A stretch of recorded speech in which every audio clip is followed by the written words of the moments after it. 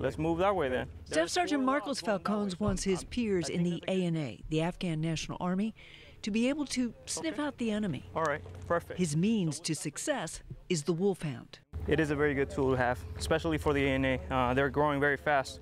So as they grow very fast, we got to give them some capabilities for them to hold for the future. You guys will find it with the The Wolfhound is an alien looking handheld radio frequency threat warning and direction finding system that can give its users an edge. They can not only hear the transmissions, now they will be able to uh, at least target them and follow those, those radio frequencies. Let me hear it. Falcones is part of TAC Northeast, the training, advise, and assist command assigned to the ANA 201st Corps.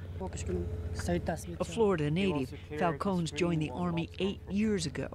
He says all his prior experiences, including that as a human, human intelligence collector, are assets he uses to help Afghans make a difference. Right now we're in the middle of all these metal buildings. so The class get a in Basic. Wolfhound runs two weeks, with much of the instruction focused on translating needed expertise to soldiers unfamiliar with technology. Okay. But Falcones is an optimist.